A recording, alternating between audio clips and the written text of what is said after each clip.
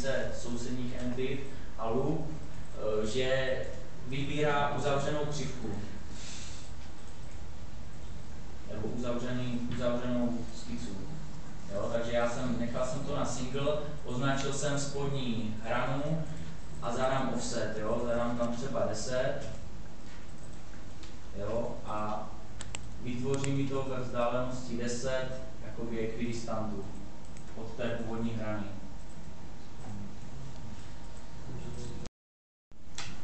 Já se tady ještě vrátím zpátky. Jo, takže opět, opět kliknu na tu volbu nebo na ten příkaz offset, zadám druhou variantu chain, tak to teď chce po mně, abych vybral řetězec kód, jo, ne- řetězec entity.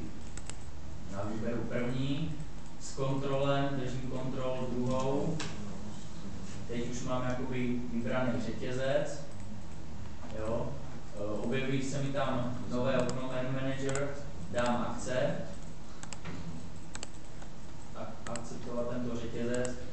šipka mi ukazuje směr kladného, kladného offsetu, dám tam například opět 10, jo, vytvoří mi to ekvidistantu od vybraných entit.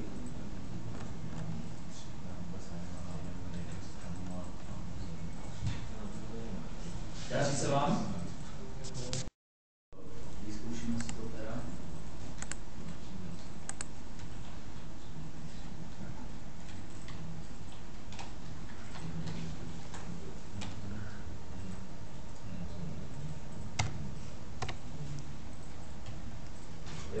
vyzerám tu pos, poslední variantu loop, kliknu na jednu hranu, ono mi to automaticky vybere jakoby celou uzavřenou smyčku,